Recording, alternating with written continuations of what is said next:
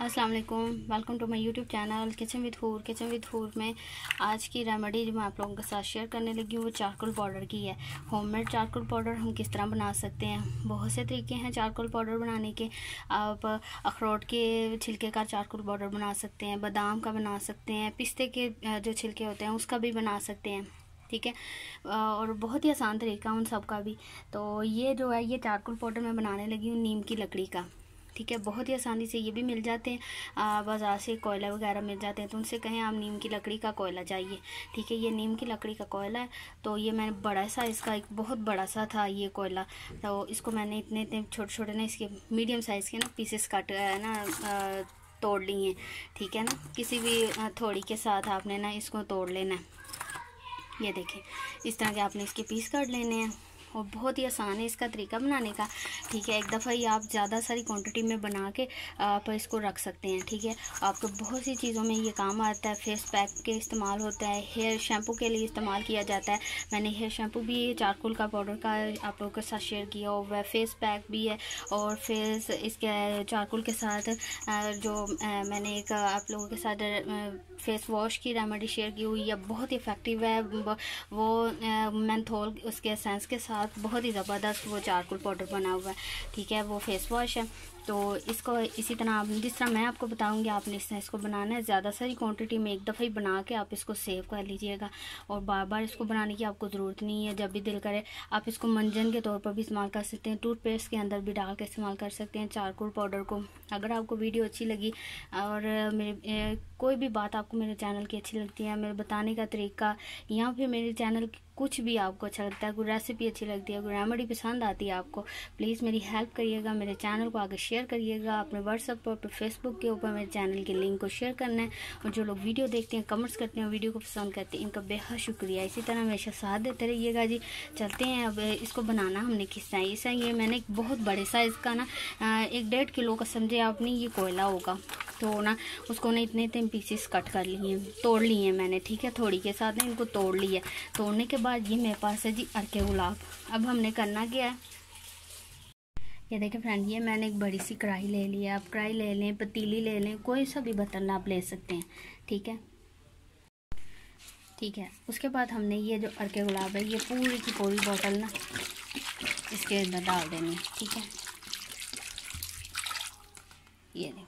ये सारा अरके गुलाब जो है ये सारा इसके अंदर चला गया। ठीक है, अब हमने नीचे से चूल्हा जला देना है। इसको 20 मिनट 20-25 मिनट मैंने ना अरके गुलाब के अंदर ही ना इसको ना पकाना है। ठीक है जी, इसको 20-25 मिनट मैंने मीडियम फ्लेम के ऊपर ही अरके गुलाब में पका लेना है, इस चारकुल को। ठीक है? ये सारा गीला हो गया है ना? ठीक है, अब हमने इसके अंदर ही मैंने इसको ना नीचे से चूल्हा जला देते हैं और इसके ऊपर ढक्कन रख देते हैं। इसका ढक्कन रखेंगे, इस बर्तन का ढक्कन रख के, ठीक है? इसके साथ हमने इसको कवर कर देना है और इसको हमने बीस पच्चीस मिनट मीडियम फ्लेम के ऊपर मैंने इसको पकाना है।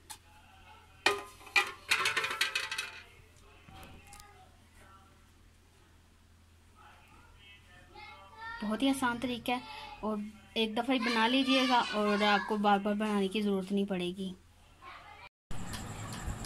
ये देखिए फ्रेंड इसको मैंने 20 मिनट के लिए 25 मिनट के लिए मीडियम फ्लेम के ऊपर कोयले को पका लिया।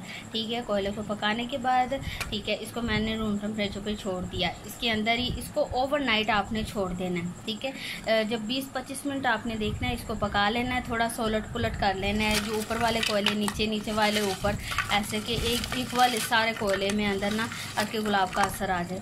ठीक है, उसके बाद आपने करना क्या है इसको इसी तरह इसी कढ़ाई के अंदर जो भी आपका कोई बर्तन है, जिसके अंदर आपने इसको अरके गुलाब के साथ पकाया है तो उसी बर्तन के साथ आपने इसको ओवरनाइट छोड़ देना है, ठीक है? कोई चीज़ नहीं, कोई पानी नहीं निकालना, कुछ भी नहीं करना। अब ओवरनाइट इसको छोड़ दीजिएगा। अब आपने करना क्या है आपने एक मलमल का कपड़ा लेना है, उसके अंदर ये सारे कोयले जो है ना, हमने डाल के ना, इसको छाँव में हमने बांधना इसको सुखाना है। इसको धूप में नहीं आपने सुखाना है। जब आपने इसको बांधेंगे मलमल के कपड़े में मैं अभी इसको मलमल के कपड़े में बाँध देती हूँ।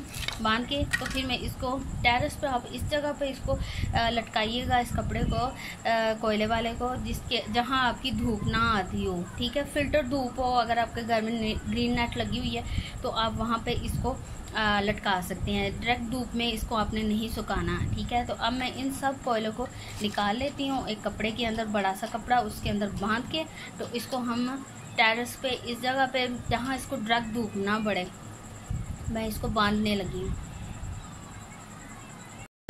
ये देखिए फ्रेंड ये पानी जो है, थोड़ा सर के गुलाब जो बच गया है ये हमारा वेस्ट हो गया, ठीक है ना? इसका हमें कुछ भी नहीं काम, ठीक है? अब ये सारे जो इसके अंदर कोयले थे, उन सबको मैंने आप कोई सा भी मलमा का कपड़ा ले ले, कोई भी घर में वेस्ट कपड़ा है जो आपको इस्तेमाल में ना हो तो आप वो भी कपड़ा ले सकते इसके अंदर मैंने ये सारे ना कोयले को बाँध दिया। बांधने के बाद फिर मैं इसको टेरेस पे, जहाँ धूप डायरेक्ट ना पड़े इसे, मैं वहाँ इसको लटका देती हूँ। जब ये बिल्कुल ड्राई होगा, कितने दिन में ड्राई होगा, ये भी मैं आपको पूरा बताऊँगी। तो अब मैं इसको बांधने लगी हूँ। ये देखिए फ्रेंड ये मैंने जो कोयला आपको दिखाया था ना, जिसको मैंने अरके गुलाम में पका लिया ठीक है, और उसको ओवरनाइट हमने छोड़ दिया। फिर उसके बाद फिर मैंने इसको इसी कपड़े में आपके सामने मैंने बताया था कि मैंने बाँध दिया बाँध के फिर इसको हमने छाँव में सुखा लेना है। सुखा लिया, ये मेरा तीन दिन के अंदर खुश्क हुआ है, ठीक है। तो ये तीन दिन के बाद जब खुश्क हो गया तो इसको मैंने ना फिर से दोबारा से ना थोड़ी की मदद से ना, इसको मैंने थोड़ा सा कूट लिया है। ठीक है ना, तोड़ लिया, बिल्कुल इतना तरह सा कर लिया, ताकि ये अच्छे से ग्राइंड तो हो जाए ना, क्योंकि फिर वो इतने इतने बड़े पीसेस जो है ना, वो ग्राइंड नहीं होंगे, वो जो ब्लेंडर का मिक्सी जार का जो ब्लेड है, वो क्रैक हो जाएँगे अगर हमने इतने इतने बड़े पीसेस डाल दिए। तो ये बिल्कुल छोटे छोटे इतना, इस तरह का ना, बिल्कुल दरदरा सा ना हमने इसका ना पाउडर सा ये बना लिया है, ठीक है ना? थोड़े से मोटे हैं, थोड़े से बड़ी अगर कोई ज़्यादा मोटे होंगे तो फिर मैं उनको ज़्यादा पीस लूँगी, तोड़ लूँगी थोड़े से ही, ठीक है? तो अब मैं इसको ना सारे को ना ग्राइंड करने लगी हूँ।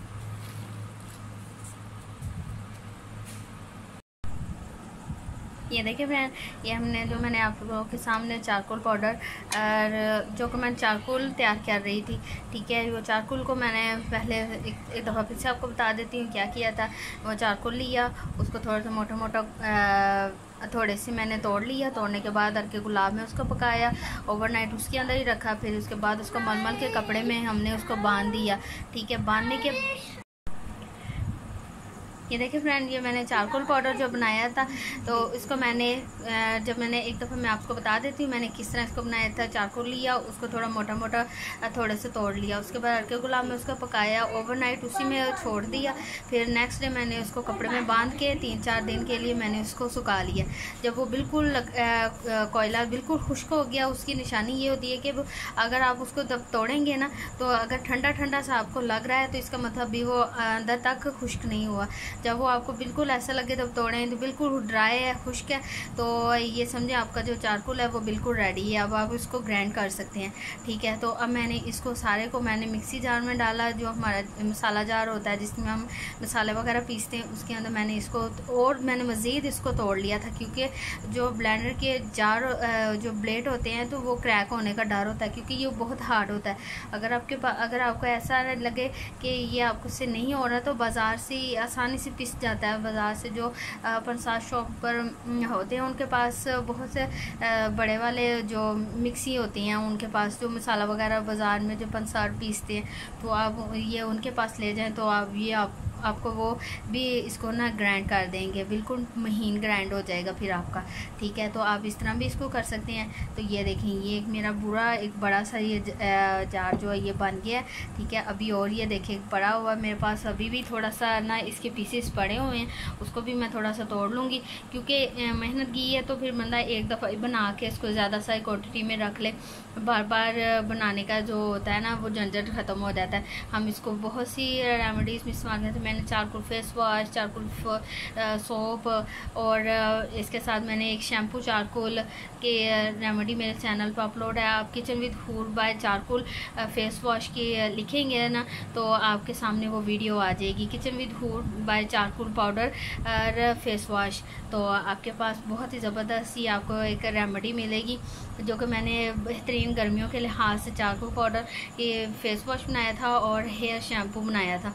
तो बहुत ही ज़बरदस्त ज़बरदस्त हैं और भी बहुत सी, मैंने एक पैक भी बनाया हुआ है, बहुत सी रेमेडी हैं।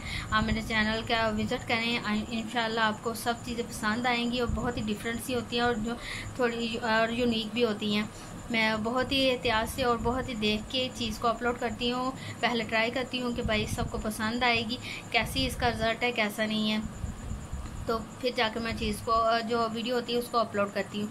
तो आपने इसको भी पूरा देख लिया प्रोसीजर इसका किस तरह बनाना है, ठीक है? तो आपने इसको मज़ीद कपड़, जिस तरह से होता है बरी कपड़े में, मलमल के कपड़े में छान लेना है, ठीक है? अगर महीन कर लीजिएगा इसको, ज़्यादा बारीक पीस लीजिएगा। एक दफ़ा मिसकी जो मसाला जा रहा है उसमें पीसने के बाद फिर से आपने इसको कपड़े के साथ भी इसको छान लेना है, ताकि बिल्कुल महीन, जैसे फ़ाइन होता है ना फ़ाइन किस्म का इसका पाउडर तैयार हो जाना चाहिए, ठीक है जी? ये था इसका चारकोल पाउडर बनाने का तरीका और मैं आइंदा भी आप लोगों के साथ मैं एक मैंने मंजन की भी रेमेडी अपलोड की हुई है वो भी देखिएगा। तो आइंदा भी मैं बहुत सी रेमेडी आप लोगों के साथ शेयर करूँगी।